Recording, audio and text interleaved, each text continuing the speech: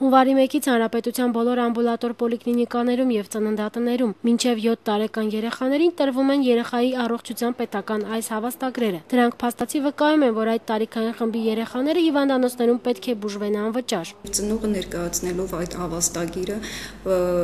վստահ է, որ ոչ մի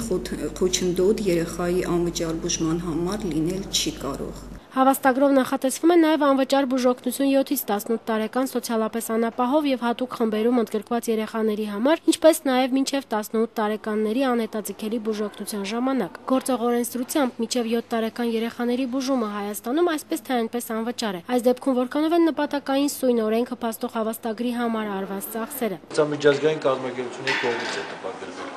Մենք բյուջեն սրա վրա ծախս չի արել, բայց ես նույնիսկ եթե ինչ որ ծախսել լինի, սրանք արդարացված են էլի ասում, որովհետև սա անհատականացված իրավունք է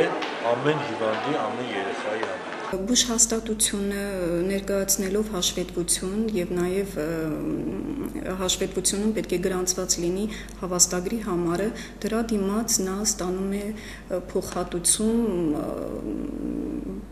պետական առողջապահական գործակալության կողմից, որը որ առաջին հերթին երևի թե ուղղվելու է բժիշկների աշխատավարձի բարձրացմանը։ Երեխաների առողջության հավաստագրերի առաջին խմբականակը արդեն բաժանվել է մարզերում եւ Երևանում։ Առաջիկայում կբաժանվի նաեւ երկրորդ խմբականակը։ Նորամուծություններից մեկն էլ այն է, որ այսուհետ հավաստագրերին զուգահեռ կտրամադրվեն կնոջ առողջության եւ երեխայի առողջության անձնագրեր։ Գայանե Հակոբյան, Ասմիկ Վարոյան, IPF։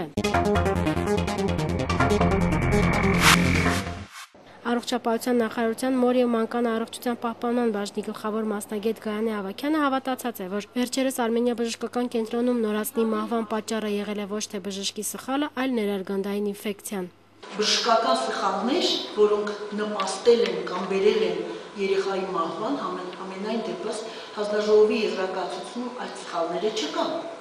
Դավիթ Աբովյանը պատժվել է նրա համար, որ ինքը թույլ է տվել դենտոլոգիական բնույթի սխալներ, այսինքն կնոջը չի կարողացել համոզել,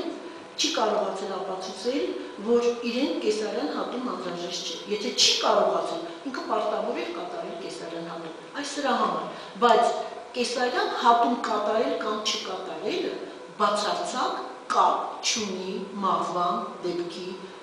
պատ անատոմիական եզրակացության հետ։ Երեխան նորածինը մահացել է մեր արգանդային գեներալիզացված